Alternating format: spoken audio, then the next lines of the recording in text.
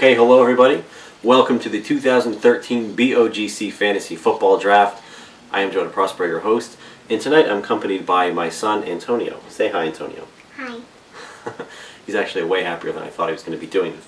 So, um, I always like to top what I did the previous year, and I don't think I'm going to top what I did last year. So this year I figured I'd do something weird and different. So what I'm going to do is pull each name one by one, and after I pull each name, I'm going to describe what each of these people are like, um, but I'm going to compare them to a fictional character that my son Antonio would know. Sunny day, sweeping out clouds away. So the 12th pick in the BOGC Fantasy Football Draft, we have.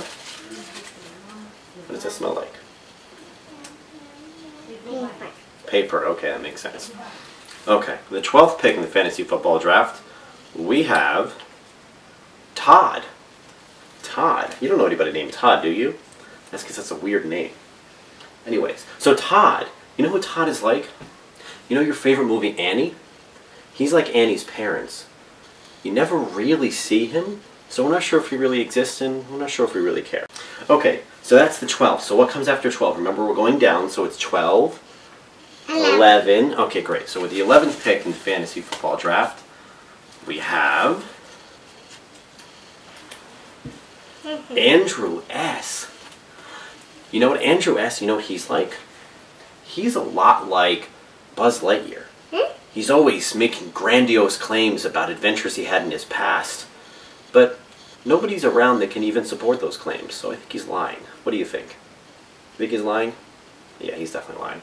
So with the okay, so it was 12, 11. Then what's next? Mm, ten. 10. Okay, tell the camera. Ten. Okay, thank you. With the 10th pick in the BOGC draft, we have Uncle Mike. Hmm. Now, you know Uncle Mike, right? Do you like Uncle Mike? Mm. I don't like him either. With the ninth pick in the fantasy football draft, we have Cousin Kyle. Antonio, don't abandon the game here. Cousin Kyle, I know I know Cousin Kyle isn't very interesting to you because you don't know him. But Cousin Kyle is a lot like, you know who he's like? He is like Elmo's mom. And do we ever see Elmo's mom? No, you never see Elmo's mom, so we're okay with that. The eighth pick.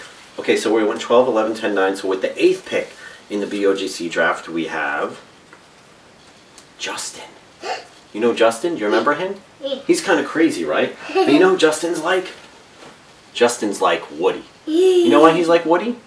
Because he's always telling people what to do. He's always acting all, you know, kind of on his moral high horse. You know, he's like, hey guys, you shouldn't be having that milk. There's chemicals in there. I'm a vegetarian, although I just had a filet mignon. so, seventh pick in the BOGC draft. Who do you think it's going to be? Think it's going to be Daddy? Mhm. I don't know. Maybe. With the seventh pick in the draft, we have, ha ha ha, it is Daddy. You know who I'm like? I'm Yeah. like the Incredible Hulk. You know why? Because sometimes you do terrible things that make me angry and want to hurt people. So, number six pick in the BOGC draft. Okay, who do you think it's going to be? Mm, Nate? Mhm. No, I don't think so. Okay, the sixth pick, we have Scott. And Scott is a lot like. You know what he's like? He's like Cookie Monster. Ooh. He's like Cookie Monster because he's Cookie. very hairy and he ate Cookie. 26 cookies in one sitting. So, number five pick in the BOGC draft, we have Andy Murillo. Ooh.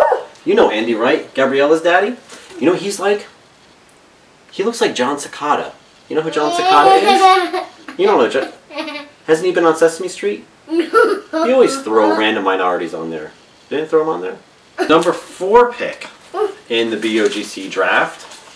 What do we have as number four? You can listen to be very exciting. It's kind of down to the wire here. Number four pick is Doug. Good old Doug. And you know who Doug is like? No. Doug is like Floyd. Floyd is the big. Flo- You know what Floyd is? Floyd plays in the Muppets band. Yeah. You know Dr. Teeth's Electric Mayhem? Mm. And he's like him because he plays bass in a band that nobody cares about and he has big nose. Sorry. Mm. So the number three pick in the BOGC draft, we have George. Remember mm. cousin George? Mm. George is like Dora. You know Dora, right? You know he's like Dora? Because he'll like he's all like Americanized, but then just randomly he throw out a word like, you know, like let's go to watch the football or something like that. And, you know, come on, man. You live in what Saddlebrook? Get over it. Okay, so the number two pick. Mm, what do you think it's gonna be? The number two pick in the draft is Jason. Mm. And Jason is a lot like Oscar the Grouch. You know why?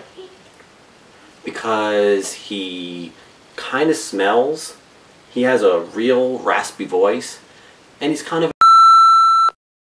And the number one pick in this year's BOGC draft is none other than Danny Glazzi.